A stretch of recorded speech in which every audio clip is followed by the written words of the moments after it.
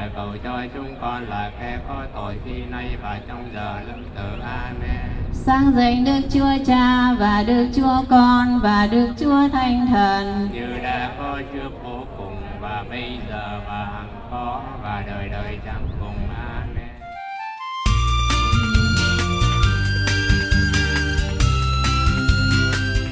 Nhóm phóng viên Đài Sài Gòn Network xin kính mời quý vị cùng ghé thăm nhà dòng nữ Đa Minh. Hòa cùng không khí xuân vẫn còn đang tràn ngập khắp nơi. Hội đồng hương Cao Xá cũng đã tổ chức một buổi tiệc nho nhỏ để mọi người có thể cùng nhau gặp gỡ, hàng huyên tâm sự và chúc những lời chúc tốt đẹp nhất. về cao xa với anh thì về vui hội hát xoan đầu đình trống rừng quê anh thắm xanh đồng lúa thắm mướn ruộng ngô Hội của chúng tôi đồng hương của Cao Xá phát uh, nguồn gốc là từ uh, miền Bắc Hưng Yên, sau đó vào Tây Ninh. Tây Ninh và sau 75 thì chúng tôi theo cha cố dụ qua bên này ngài cũng đã bảo trợ và thành lập hội đồng hương Cao Xá. Sau 75 mấy tháng thì hội đồng hương chúng tôi bắt đầu thành lập. Hội của chúng tôi mục đích thành lập là tương thân tương ái và giúp đỡ lẫn nhau và phát huy truyền thống tốt đẹp của dân tộc Việt Nam. Ngoài ra chúng tôi cũng có những phần quà khi mà vận động mạnh thường quân trong hội và có những giúp đỡ cho vấn đề ơn gọi ở Việt Nam cũng như là những người già neo đơn. Hàng năm hội của chúng tôi tổ chức uh, ngày lễ truyền thống tức là ngày mùng ngày Tết của Việt Nam, ngày Tết truyền thống Việt Nam. Uh, Ngoài ra chúng tôi tổ chức một uh, lễ ngày lễ đó là ngày lễ uh, các 117 vị thánh, trong đó có ông uh, có ông thánh uh, cha cha thánh Gioan cha Tuân là người cao xá và chúng tôi thì hàng năm chúng tôi cũng vẫn tổ chức. Người dân Cao Xá sống chan hòa và lương thiện. Thiên nhiên nơi đây thì xinh đẹp trù phú vô cùng của những vần thơ của tác giả Lê Gia Hoài. Bao năm trở về Cao Xá, thăm lại ngôi chùa Thiên Lôi. đình làng ngày xưa vẫn vậy, mà sao tim thấy bồi hồi. Khoảng trời vĩnh mộ vẫn thế, nắng vàng pha chút bình yên. Ai xa lòng ai chẳng thế, nhớ về kỷ niệm không quên. Góc đa tề lễ vẫn đây, nghiêng soi bóng chiều dịu êm khói lam căn bếp dân đầy. Em về để thấy yêu thêm đường quê dục mỹ xanh màu đón em về trong mùa ngâu. Câu ca ngày xưa mẹ hát khúc vui tiễn em qua cầu. Ngõ nhỏ phong vân vẫn đợi hoàng hôn buông tiếng mắt chờ. Ai ngồi đợi ai ven đồi cho nhiều những tiếng vần thơ. À, hội xuân năm nay thì năm nào cũng thường xuyên là chúng tôi đều tổ chức ở uh, cái đầu năm một cái ngày lễ ngày hội xuân. Mục đích là để cùng nhau dâng thánh lễ tạ ơn Chúa tạ Đức Mẹ. Sau đó là để đồng hương có dịp gặp gỡ hàn huyên tâm sự. Chúc mừng lẫn nhau và vui xuân. Hài hòa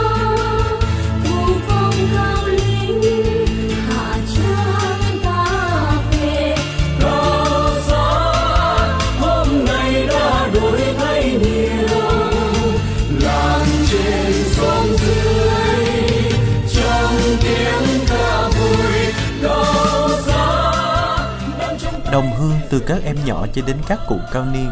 Ai ai cũng phấn khởi với chương trình tân niên của Hội đồng hương Cao sáng ngày hôm nay.